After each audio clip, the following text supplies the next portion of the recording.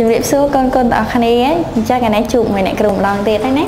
ជួបមួយអ្នកគ្រូម្ដងទៀតយើងរៀនគណិតវិទ្យាដដែលប៉ុន្តែគណិតវិទ្យារបស់យើងថ្ងៃនេះគឺចូលមេរៀនថ្មីមេរៀនទី11វិធីបូកវិធីដកចំនួនដល់20 អញ្ចឹងអ្នកគ្រូជឿជាក់ថាមុននឹងឈានដល់មេរៀននេះកូនច្បាស់ជារៀនលេខពី10ពីលេខ10ដល់លេខ20រួចហើយហើយកូនច្បាស់ជាស្គាល់ចំនួន20នេះច្បាស់ដែរណាអញ្ចឹងលេខ20គេសរសេរមានលេខប៉ុន្មានខ្លះកូនមានលេខ2និងលេខលេខ0អញ្ចឹងលេខនេះគេហៅថាលេខលេខ20អញ្ចឹងលេខ20វាផ្គុំឡើងពីលេខ2និងលេខនិងលេខ0អញ្ចឹងយើងស្គាល់លេខ20រួចអីណា ចឹងថ្ងៃនេះយើងរៀនពីវិធីបូកវិធីដកចំនួនដល់ដល់20ចឹងថ្ងៃនេះយើងចូលលេខ1តូចវិធីបូកដែលតួមានលេខ1ខ្ទង់អញ្ចឹងមិនគេហៅតួហើយអាមិនបានគេហៅលេខ1ខ្ទង់អាមិនបានគេហៅលេខ2ខ្ទង់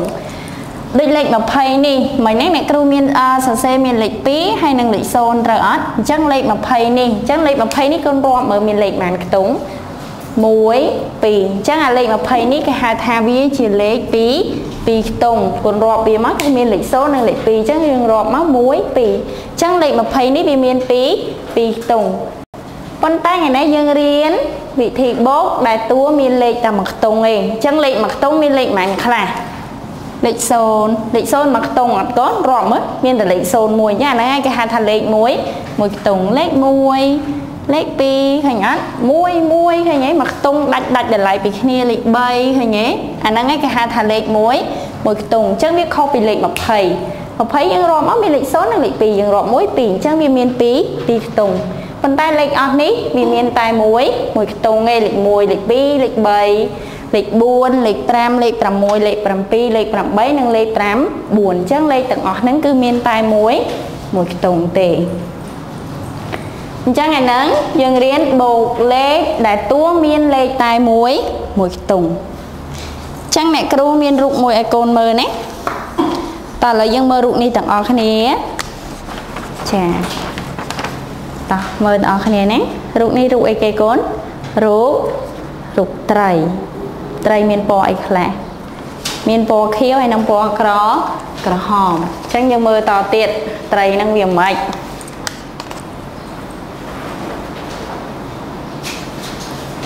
ឥឡូវគុណមើលទាំងអស់គ្នា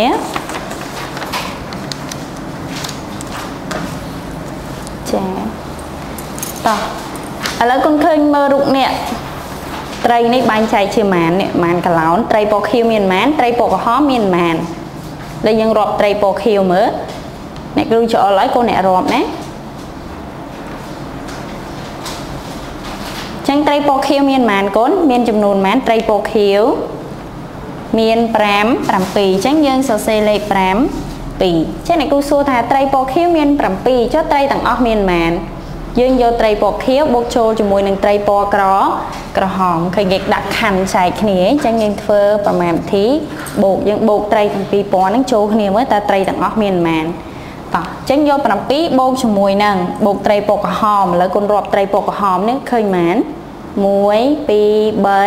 4អញ្ចឹង7បូកប៉ុន្មាន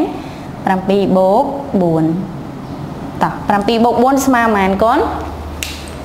បូកត្រីនឹងបញ្ចូលគ្នានេះមើលអាក្រោមណាបន្ទាប់ពីបូកចូលគ្នាយើងបានត្រីខាងក្រោមនេះអញ្ចឹងកូនរាប់ចំនួនត្រីទាំងអស់នឹងចូលគ្នាមើលតើត្រីទាំងអស់មានចំនួនប៉ុន្មានរាប់មើលកូន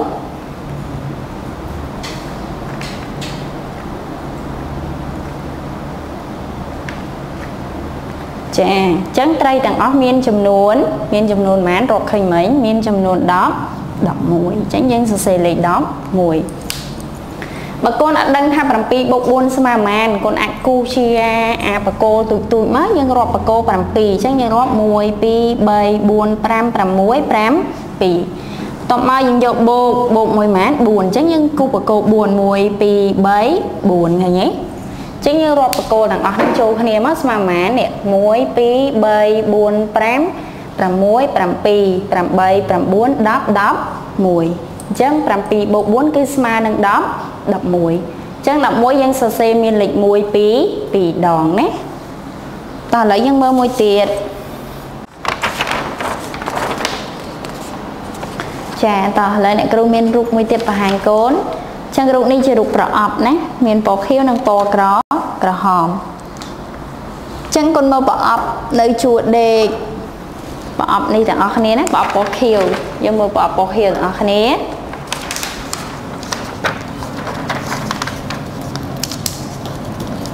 តោះឥឡូវយើងមើលទាំងអស់គ្នាចា តោះប្រអប់ពណ៌ខៀវនេះមានចំនួនប៉ុន្មានយើងរាប់មក1 2 3 4 5 6 7 8 9ចឹងប្រអប់នេះគឺមាន5 9អញ្ចឹងយើងសរសេរលេខ5 9បន្តមកទៀតនេះគុណឃើញតុក្កតាមួយនេះហេតុក្កតាមួយហ្នឹងកាន់ប្រអប់មកប្រមាណទៀតនេះ កាន់ប្រអប់មកថែម3 3ទៀតអញ្ចឹងប្រអប់មុនដំបូងមានតែ9ទេតុក្កតាហ្នឹងគាត់កាន់ប្រអប់ហ្នឹងមកបន្ថែម3 3ទៀតអញ្ចឹងយើងយកប្រអប់ពណ៌ខៀវបូកមកប្រអប់ពណ៌ក្រហមអញ្ចឹងប្រអប់ពណ៌ក្រហមមានប៉ុន្មាន1 2 3អញ្ចឹងយើងយក9បូកបូក3ចឹងយកប្រអប់នេះបុកប្រអប់នេះបញ្ចូលគ្នាគោលឃើញសញ្ញាព្រួយគេដាក់មកអញ្ចឹងយើងបានប្រអប់នៅខាង នៅខាងក្រោមនេះតែស្មើប៉ុន្មានអញ្ចឹងយើងរាប់ប្រអប់នឹងទាំងអស់ចូលគ្នាមកតោះ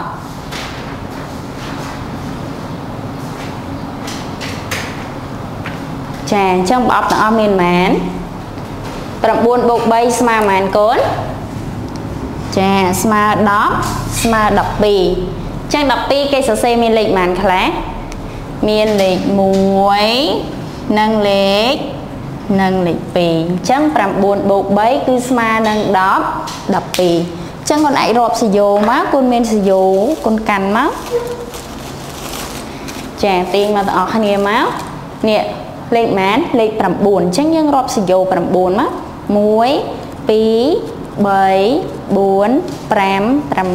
7 8 9សយោ9បូកថែមសយោប៉ុន្មានកូនបូកថែម3នេះបូកថែម3ចាអានេះ9អានេះ3បូកបញ្ចូលគ្នាអញ្ចឹងទាំងអស់តើស្មើសយោប៉ុន្មានយើងរាប់ចូលគ្នាមក1 2 3 4 5 6 7 8 9 10 12អញ្ចឹង9បូក3គឺស្មើនឹង10 12តោះបន្តទៀតអ្នកគ្រូមានរូបមួយទៀតឲ្យកូនមើលណាអញ្ចឹងកូនមើលទាំងអស់គ្នាចារូបនេះរូបអីកូនកូនក្របទូចទូចណាអញ្ចឹងមានអាក្នុងកែវមានអាក្រៅក្រៅកែវ អាក្រហមនេះបានន័យថាគេតម្លាក់វាចូលរួចហើយនៅតែអាពណ៌នៅពណ៌ខៀវឯងគេប្រុងតម្លាក់វាចូលទៅក្នុងកែវនឹងដែរណាតើឥឡូវមើលមួយអ្នកគ្រូទាំងអស់គ្នា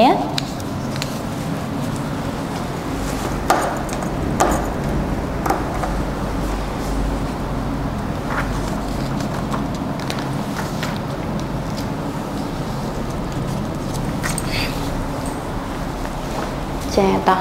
គុណមកក្របពណ៌ខៀវនេះមានប៉ុន្មានរាប់មកចាមាន3អញ្ចឹងយើងសរសេរលេខ3ចុះក្របពណ៌ក្រហមមានប៉ុន្មាននេះអា3នេះព្រមទម្លាក់ចូលទៅក្នុងកែវអញ្ចឹងយកយកអាពណ៌ក្រហមអាពណ៌ខៀវនេះបូកមួយពណ៌ក្រហមណាអញ្ចឹងយក3បូកបន្ថែមក្របនៅក្នុងកែវនេះស្រេចមកពណ៌ក្រហមមានប៉ុន្មានគុណរាប់មកនេះគឺច្អល់ឲ្យណា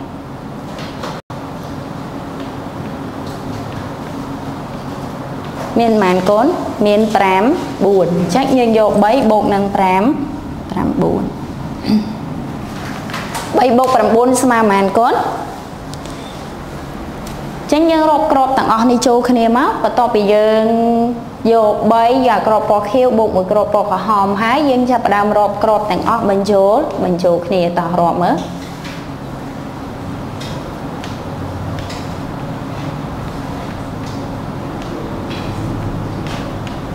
ចាអញ្ចឹង3បូក9ស្មើ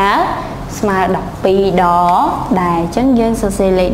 12លេខ12មានលេខ1និងលេខ2អញ្ចឹង3បូក9ស្មើនឹង10 12អញ្ចឹងកូនយកសយោរបស់កូនដដែលដាក់សយោប៉ុន្មានមិនដំបងនេះ3អញ្ចឹងយើងដាក់សយោ3បូកថែមសយោប៉ុន្មាន5 9អញ្ចឹងយើងរាប់សយោរបស់យើងថែម9ទៀតមក 1 2 3 4 5 6 7 8 9តបមកយើងយកសយោ3បូកជាមួយនឹងសយោ5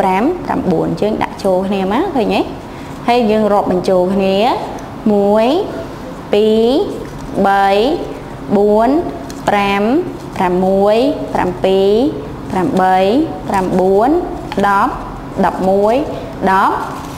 9ចឹង3បូក9ស្មើ10 2ចាអញ្ចឹងអ្នកគ្រូមានឧទាហរណ៍តែប៉ុណ្្នឹងឥឡូវយើងមើលតគ្នាអ្នកគ្រូសូមបញ្ជាក់ម្ដងទៀតវិធីបូកដែលតួមានលេខមួយខ្ទង់គុណឃើញទេអ្នកគ្រូធ្លាប់បញ្ជាក់ប្រាប់កូនម្ដងរួចមកហើយលេខដែលនៅខាងមុខគេហៅថាតួទី1លេខដែលនៅបន្ទាប់គេហៅថាតួទីតួទី2អញ្ចឹងយើងមើលតអស់គ្នាកូនមើលលេខ7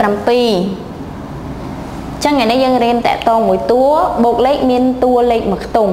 ចឹងលេខ7កូនមើលមើលមានប៉ុន្មានខ្ទង់មាន1ខ្ទង់ចុះលេខ4មាន1មួយខ្ទង់ខាងនេះទៀត9គឺ1មួយខ្ទង់លេខ3ក៏1មួយខ្ទង់3នេះមួយខ្ទង់9នេះគឺ1មួយខ្ទង់ចឹងអាហ្នឹងឯងគេហៅថាវិធីបូកដែលតួមានលេខ1មួយខ្ទង់ចឹងអ្នកគ្រូមានតែប៉ុណ្ណឹងតែចុងបញ្ចប់អ្នកគ្រូមានលំហាត់ឲ្យកូនធ្វើតិចណាដាក់កិច្ចការទេសឲ្យធ្វើតិច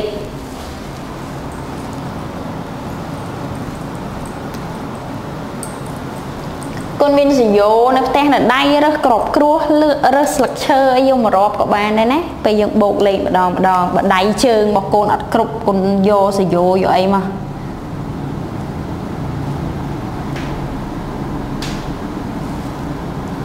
លំហាត់ហាត់កិច្ចការផ្ទះណាអ្នកគ្រូដាក់លំហាត់ឲ្យកូនធ្វើនៅផ្ទះ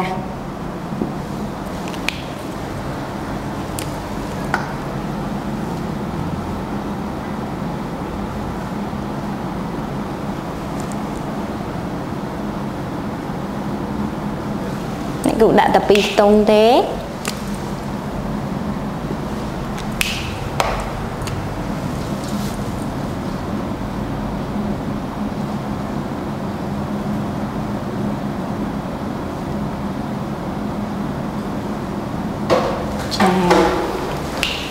ើឥឡូវយើងមើលទាំងអស់គ្នាអញ្ចឹងលំហាត់មាន2កខចូលរួមអានមែនអ្នកគ្រូទាំងអស់គ្នាណាក លេខម៉ានសញ្ញាអីលេខប៉ុន្មានសញ្ញាអីខ